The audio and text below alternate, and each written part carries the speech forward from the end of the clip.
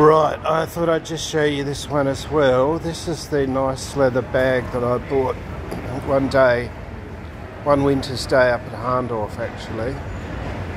It was a little bit over $400 from memory, but it's just leather products from Melbourne. Remember yesterday I was looking at a, at a bag, but I thought, you know, I'm pretty right for leather satchels and suitcases and everything. And one day from Jason, I'll show you, I bought this lovely shoe brush. That was $35, made in Germany. Let's have a look, Germany.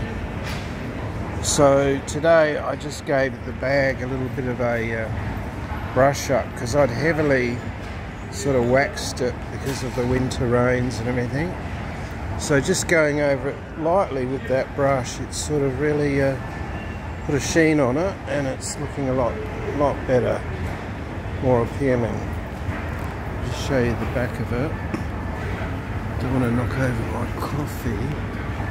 That's what the back looks like as well.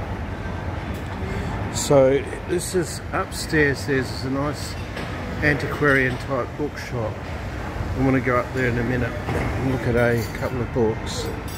The man said they've got a nice Aesop's Fables in there. I might have a look at it. But anyway, that's the bag I'm using today.